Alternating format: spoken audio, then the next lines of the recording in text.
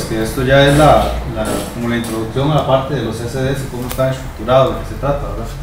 Hay mucho que ver desde de dispositivos de carga acoplada. Pero entonces vamos a ver la parte de cómo era que funcionan, cómo es el funcionamiento básico de los elementos que lo conforman.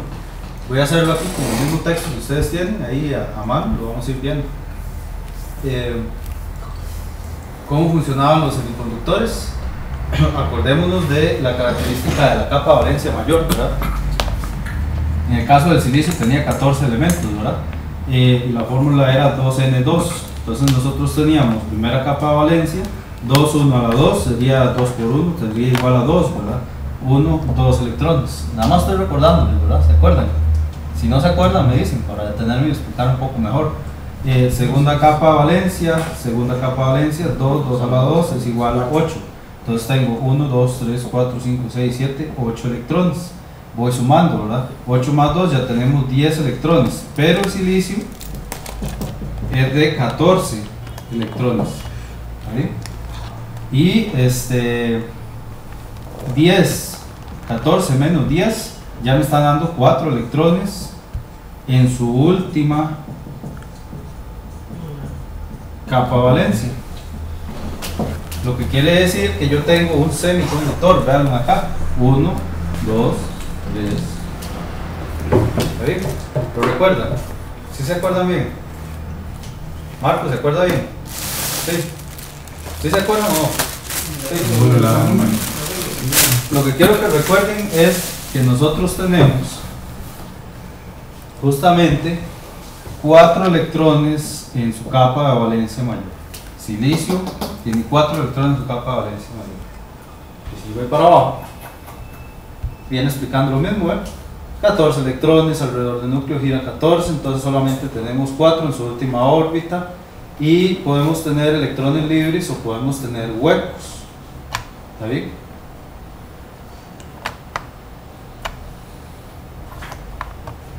Si un electrón en la última órbita gana energía, ya sea una fuente térmica o una fuente lumínica, se libera del núcleo y se convierte en un electrón libre, ¿cierto?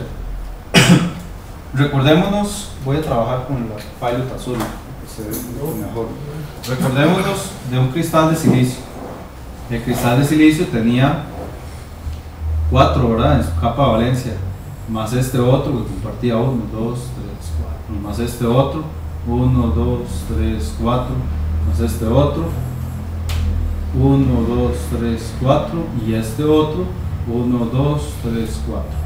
Entonces este de adentro tiene 1, 2, 3, 4, 5, 6, 7, 8 electrones, ¿verdad? Formando un cristal, formando un sólido. Pero yo le puedo agregar electrones o le puedo este, agregar, bueno, no electrones, sino le puedo agregar eh, materiales pentavalentes o materiales trivalentes. Al agregarle materiales trivalentes, este que tiene 8 para que sea una estabilidad sólida, se convierte en que tiene 7, entonces genera huecos. Y si yo le pongo pentavalentes, entonces tengo 8 y hay uno que me está sobrando. Ese electrón que me está sobrando genera un camino, genera una fuerza, genera un movimiento. Si estamos claros con, con los enlaces este, covalentes en este caso, ¿sí? Y que eran los cristales. Entonces estamos recordando nada más que era el cristal de silicio. Pero entonces recordando que podemos tener electrones libres o huecos.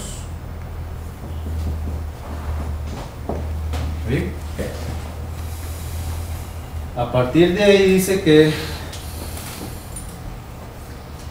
nosotros podemos manipular la última órbita, o sea, podemos manipular estos cuatro electrones para que sea semiconductor, dígase silicio, dígase germanio, va a tener cuatro electrones. Esa es la condición, cuatro electrones en su última capa de valencia.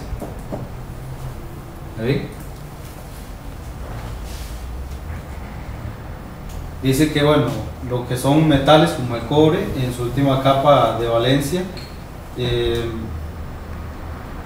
están debidamente ligados al núcleo y este, que a temperatura ambiente esos van a tener electrones libres. Un buen conductor tiene electrones libres. O sea, digamos, el cobre. El cobre tiene mayor cantidad de electrones libres. Es un sólido, pero tiene afluencia de electrones libres. Entonces, Supongamos que yo le pongo al cobre temperatura, le estoy poniendo electrones libres que van a caminar con mayor fluidez, o sea, este electrón se va a meter por acá, pero entonces va a hacer que salga otro de acá y se vaya más para allá y ahí va todo el camino, ¿verdad? Entonces, entre más electrones libres tiene, es mejor conductor. Y mal conductor si tiene menos electrones libres, o sea, si tenemos huecos. ¿Qué es lo que sigue hablando aquí?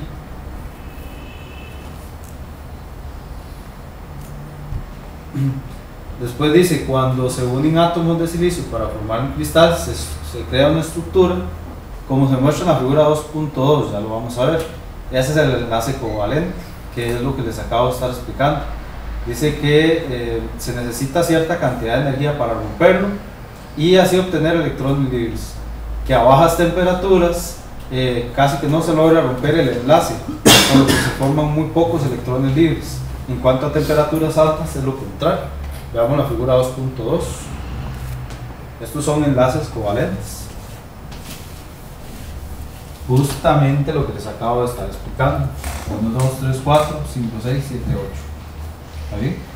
1, 2, 3, 4, 5, 6, 7, 8. 1, 2, 3, 4, 5, 6, 7, 8. ¿Ven? Esto ya es un cristal. Esto es una, esto es una figura fuerte. Ya. Esto es como por decirlo así un sólido. Pero en este caso es silicio. Eso que tienen acá, en la figura 2.3, es un material de tipo N con impurezas de antimonio. En otras palabras, estamos generando electrones libres en él. Ahí para poderlo explicar. Esto es un material tipo N.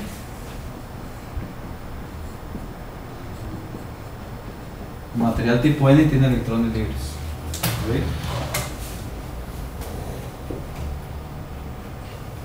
El, el germanio es otro material semiconductor.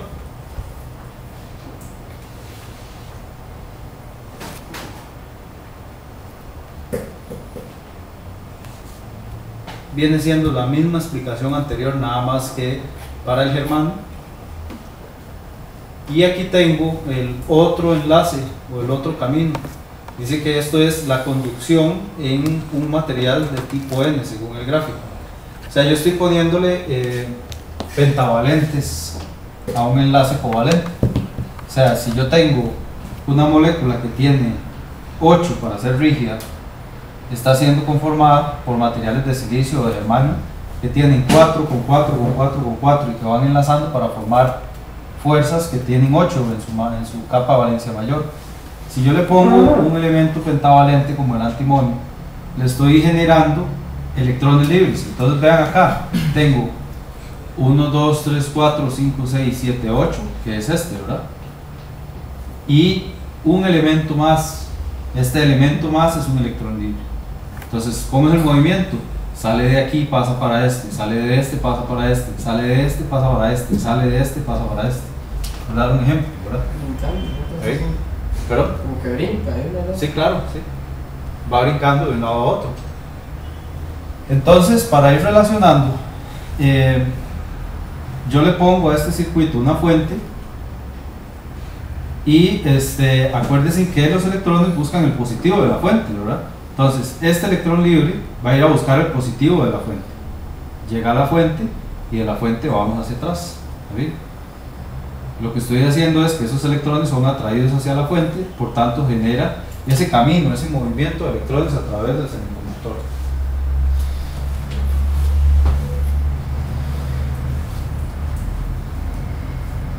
Y el otro caso es cuando es material del tipo eh, trivalente, lo que le ponemos al enlace covalente. O sea, si yo tengo eh, que mi sólido va a ser eh, con 8 electrones libres en su última capa de valencia, perdón, 8 electrones en su última capa de valencia, ya no voy a obtener electrones libres, sino que voy a tener una deficiencia a la cual le vamos a llamar huecos. ¿Por qué? Porque pongo un material del tipo P que va a convertirse en huecos o deficiencias faltantes de electrones, que va a ser un mal conductor. Y por esas que le puedo poner, podríamos hablar de él eh. ¿Verdad? En este caso hablábamos del antimonio. Son como dopajes, así. A la hora que yo le pongo boro a un material ya semiconductor, genero esto. 1, 2, 3, 4, 5, 6, 7 y un faltante, al cual le llamamos un hueco. Está bien, ¿verdad? Bien, entonces, partiendo de eso,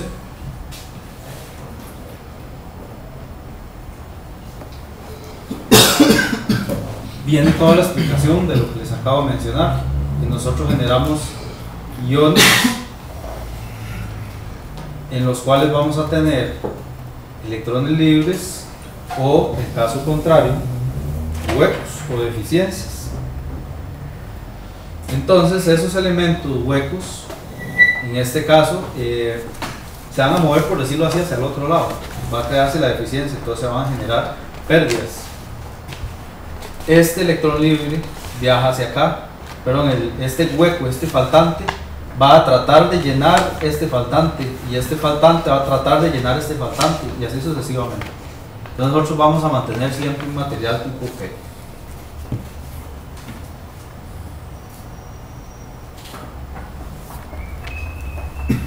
Aquí vienen las uniones de material tipo P con material de tipo N.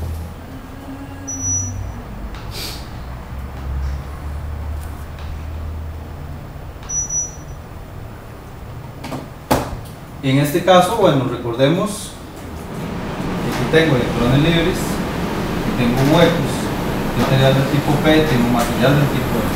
Cuando yo uno esto con esto, se va a generar el diodo. Lo que estamos haciendo es repasando la teoría del diodo.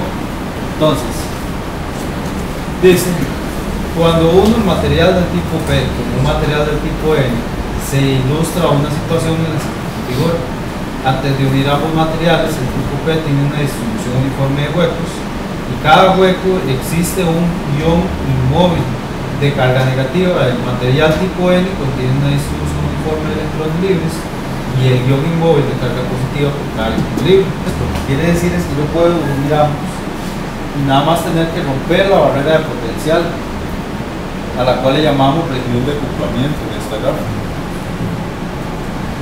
Va a ser la función de un aislante. Vean acá. Acá tengo material tipo P. El material tipo P se representa con negativos. O sea, electrones libres. ¿Cierto? Y el material este, del tipo N se representa con positivos.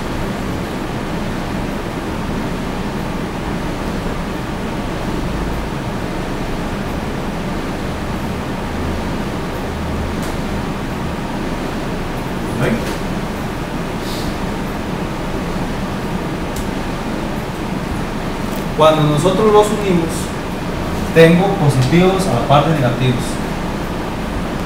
Pero como es una región de acople, a eso le vamos a, llamar región de agotamiento. ¿Se acuerdan que existen diferentes tipos de diodos? Diodo de silicio y diodo de este, digamos. Entonces nosotros teníamos el símbolo del diodo convencional, donde nosotros vamos a tener una unión P y N. A esto que tenemos acá se le llama región de agotamiento.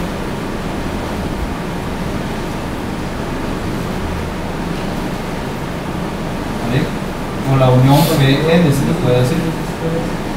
Cuando nosotros tenemos en P la fuente, nosotros le vamos a inyectar electrones a esto hasta poder romper la región de agotamiento o barrera potencial que era de aproximadamente 0.6 voltios en un diodo de silicio y que va a romper la barrera potencial y va a generar una comunicación de P hacia N. Ya eso es teoría que ustedes ya conocen, ¿verdad? Electrónica general. Entonces, también podíamos aprovechar la región de agotamiento en un CN, de tal manera que el CN lo que hacía era polarizarse inversamente, de tal manera que yo cuando ponía el diodo CN al revés en la fuente, lo que aprovechaba era que esto se ensanchaba. Los materiales N iban hacia allá, los materiales P iban hacia acá. Entonces la región de agotamiento, al ensancharse, me generaba un regulador de voltaje. ¿Lo recuerdan? Sí, ¿verdad? Eso es lo que va explicando allá. Esa es la región de agotamiento, la región de unión.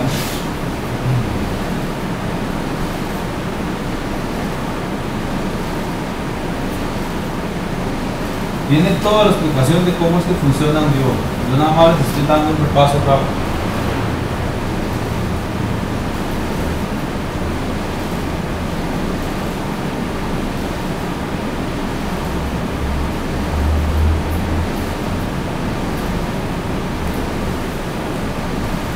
Esta gráfica me ayuda a mí, bueno, en este caso eh, habla de luz. Yo les puedo hablar, digamos, de efectos de temperatura. Recordémonos que tanto la temperatura que nosotros sentimos como la luz que nosotros recibimos va a generar en los diodos este, corrientes, va a generar una ayuda. Digamos, si yo tengo un material semiconductor, ¿qué significaba semiconductor? Y me responde eso. puede conducir tanto Ah. como puede que puede conducir o puede no conducir dependiendo de qué. la posición No, de la posición no. la físicamente polaridad. ¿Pero? la De la polaridad polaridad sí es obvio, pero ¿de qué más? Del voltaje se le aplica también, pero ¿qué más? Las características del material. Dependiendo de las características del material y qué más. Los efectos del ambiente, ¿qué ocurre con el ambiente? ¿Qué se necesita? La temperatura, muy bien. Yo le pongo a esto temperatura, los 0.7 voltios que convencionalmente se habla, puede bajar, qué sé yo, a 0.6, una cosa así, ¿verdad? Entonces, la conducción mejora. ¿A qué me refiero con que la conducción mejora?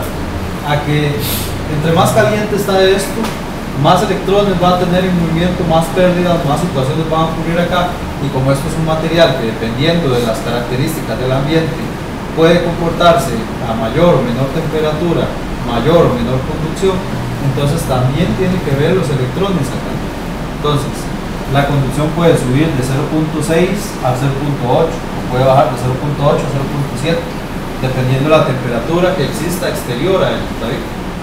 A 25 grados centígrados 0.7 voltios teóricos. La realidad es lo que ustedes midan con el multímetro 0.625 digamos, son mediciones normales de Dios, ustedes son técnicos, ¿verdad? Ya ustedes han hecho esas mediciones. Entonces esto queda claro, la temperatura irradia, la temperatura radica en la conducción no conducción de los semiconductores. Por lo tanto, la luz también. Entonces recordemos el diodo LED. Diodo LED. De lo más bonito, el diodo LED, ¿verdad? Las dos flechitas de que el diodo LED emite. El ánodo, el cátodo. ¿Cierto? El diodo LED lo que tenía era unión PN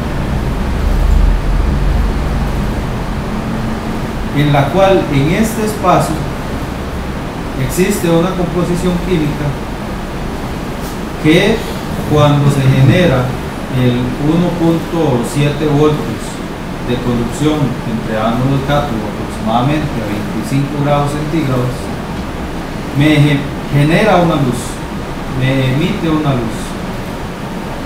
Pero esa luz primero son fotones. Y esos fotones van a chocar contra un material que esté pintado esto, pongamos que está pintado de verde. Entonces va a generar fotones y esos fotones se van a convertir en un lambda verde. Acordémonos que lambda, ¿qué significaba lambda? En electrónica, ¿qué es lambda? Long. ¿Por qué? ¿La lambda?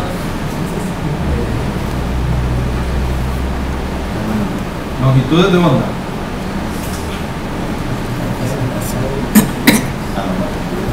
Bien, entonces, las longitudes de onda varían.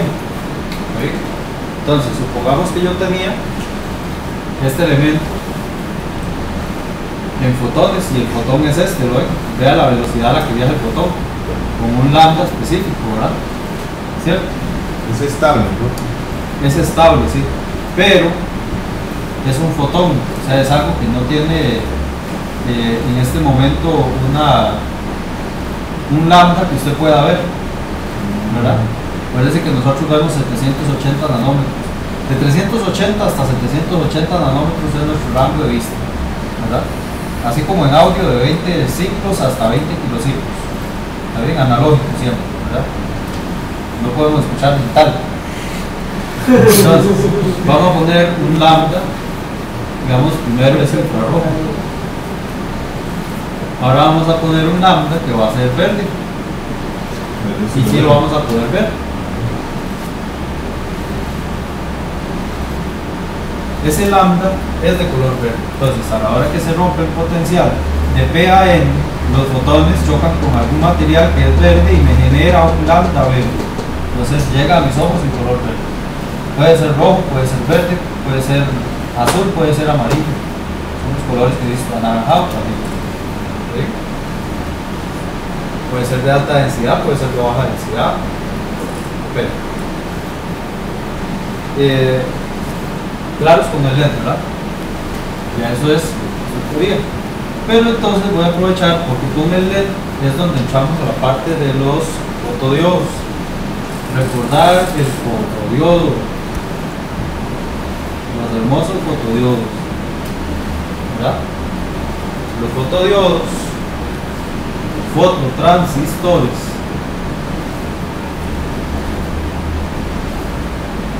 son las bases semiconductoras de las cuales estamos hablando para un CCD, para un dispositivo de carga acoplada.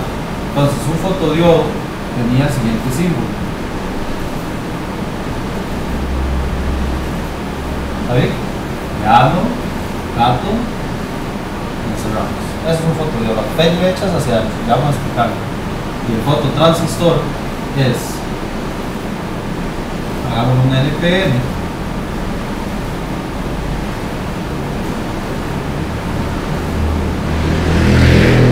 La base es, o la terminal de control es quien recibe la luz. ¿Lo recuerda bien, Ricardo? Claro. Sí, bien. Entonces el fotodiodo trabaja así. Elemento P, elemento N, que tiene un espacio aquí en la ventana. La luz llega a la ventana y hace que de P haya conducción hacia N. Supongamos que yo lo conecto, entonces le pongo una resistencia, una fuente, una tierra. Entonces, el voltaje que hay acá hace que eh, los materiales que hay en P se mantengan estables. Entonces, si yo pongo, digamos, un amperímetro acá, voy a obtener una corriente con la luz totalmente tapada, o sea, sin entrada de luz, pongámosle de 0 amperes. No hay conducción, es una abierta. Pero entonces destapo y dejo que entre un poquito de luz, entonces puede aumentar, digámosle, a 10 miliamperios. Y pongo un bombillo y le pongo más luz, entonces puedo aumentar a 20 miliamperios. Vean que la corriente acá aumenta conforme le ingresa más luz al, foto, al fotodiodo. ¿De acuerdo? Entonces, la luz que le ingresa va a decirme a mí que hay mayor o menor conducción de electrones del material P hacia material N de semiconductor y se va a guardar en batería, o sea, eh, aumenta o disminuye la corriente que le atraviesa a él de acuerdo a la luz, la cantidad de luz. ¿De acuerdo? ¿Claro con el fotodiodo? Ahora repaso fototransistor transistor podríamos ver en un optoacoplador, digamos. Esto es mi elemento optoacoplador. Tengo un fotodiodo, perdón, un diodo por acá que recibe voltaje y corriente. Y tengo por acá un elemento fototransistor que va a recibir en su base luz. ¿De acuerdo? Entonces, supongamos que yo le pongo un volt acá y un volt me genera un del 1 al 100% un 25% de luz del diodo LED. Entonces ese 25% de luz llega al fototransistor y supongamos que el fototransistor tiene 10 amperios por ejemplo. Por lo tanto, en su emisor apenas tengo 2.5 amperios. ¿Perfecto? Ah, pero entonces en este momento yo pongo una fuente variable acá. Supongamos que mi fuente variable se va a poner en 3 voltios. Entonces tengo 75%. Entonces aquí pasamos a 7.5 amperios de conducción en el emisor. Pero entonces más fácil, ahora sí, eliminemos el acoplador de este planeta, porque eso es solo para las fuentes contadas, ¿verdad? Y vamos a usar solo el fototransistor. Cuando usamos solo el fototransistor, lo que tenemos es que acorde a la intensidad, a la cantidad de luz que tenemos en esta base, hacia la conducción. Entonces, qué sé yo, tengo un 75% de la luz que puede ingresar a él. Entonces tengo en lugar de 10 amperios, 7.5 amperios. Ahora, eso es variable, es variable totalmente. Supongamos que yo recibí esta intensidad de luz. A mi salida, yo recibo, eh, perdón, supongamos que yo recibí esta intensidad de luz, este lambda de luz, ese luz me genera un 75% del porcentaje total que puede tener el ahí. Entonces me va a permitir amplificar a un 75% esta corriente. Supongamos que yo tengo una luz que me genera a un 25%, entonces esta amplificación va a bajar a un 25% de la luz que pues, fototransistor, fotodiodo. ¿De acuerdo? Y vamos a entender la parte de la matriz. Con respecto a la matriz, yo tengo líneas verticales líneas horizontales. ¿Verdad?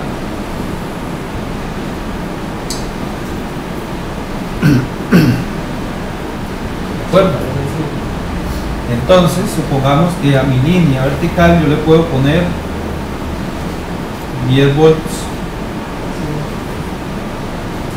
y a mi línea horizontal yo le puedo poner un GND, una tierra.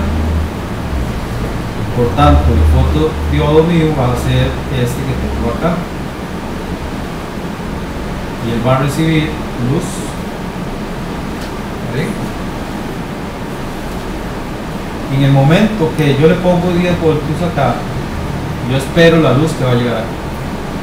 Donde llega un lambda de esta frecuencia y esa frecuencia me logra hacer que este fotodiodo me conduzca a un 35% entonces esto que tengo yo acá estos 10 voltios que están siendo monitoreados van a ser por un instante cargados en este fotodiodo y se van a convertir en una corriente entre sus terminales de en lugar de 10 voltios 3.5 voltios y a la hora de convertirlos a corriente podemos decir que en lugar de 10 voltios sea de 1 amperio entonces tendríamos eh, 0.35 amperes ¿Vale? la luz se convierte en corriente impulsos de corriente ¿de acuerdo? Y esos impulsos de corriente se van a ir sumando ahorita conforme vayamos viendo la estructura del CCD lo van a entender mejor ¿sí? entonces veámoslo acá. Esta es mi matriz ¿verdad? esta que ven acá es mi matriz. Entonces yo tengo líneas verticales y líneas horizontales. A poner yo voy a poner un eh, diodo acá. Voy a poner otro diodo acá y así voy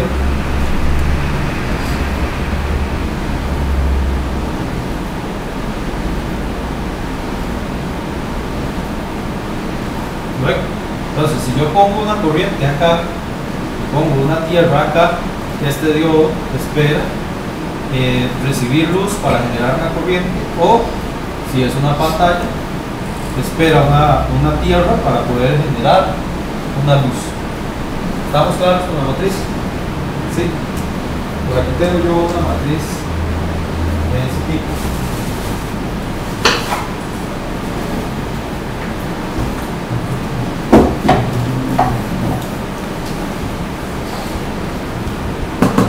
Debemos construido hace un tiempo atrás. Vamos a mostrar. Bueno, la cámara por acá. Esto es una matriz de diodo LED. Entonces, esta matriz todos la logran ver allá. Sí. Esta matriz tiene líneas, aquí se ven pintadas verticales y por detrás son puras líneas horizontales. Esto es una, esto es una obra maestra. O sea, esto es un, un trabajo muy artesanal donde se unen 100 LED y tenemos un montón de cables, ¿verdad? Pero son al final 20 cables, 10 líneas horizontales, 10 líneas verticales y yo puedo decidir cuál de estos diodos LED enciende. O sea, imagínense en aquella pizarra que están viendo allá.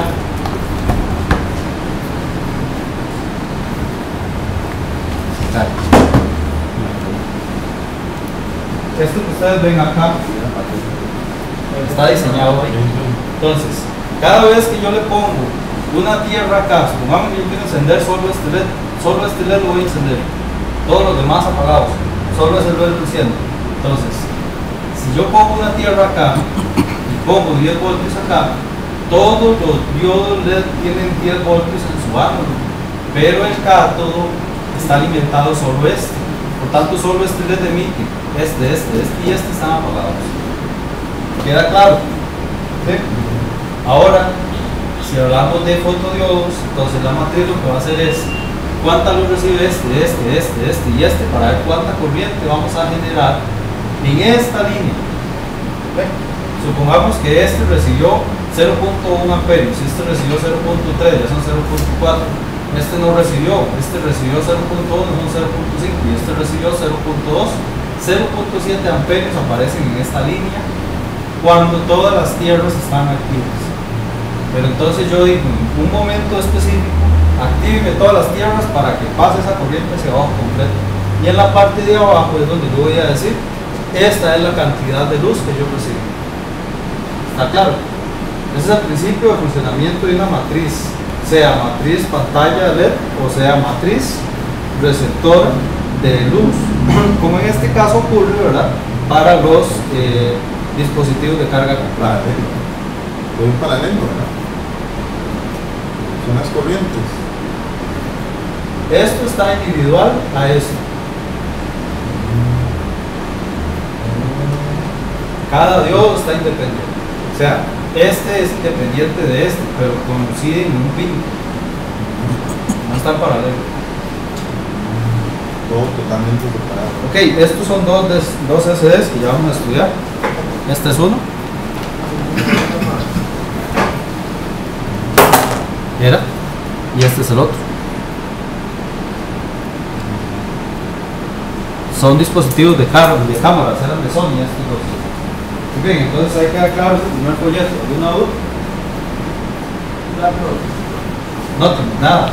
Clase magistral. Mauricio Pizarro. Suave. Estoy seguro ahí para ver si es cierto.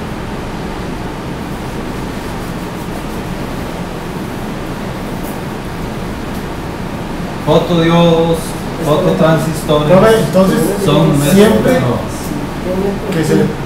El, el, la, la, el, ¿Cómo es que se llama? Vale, Siempre ella selecciona la tierra para el yo que se va. O selecciona la barra que va a trabajar. Sí, ya lo vamos a ver. Si tú quieres un sitio, Ok, entonces no hay dudas, ¿estamos claros? Listo.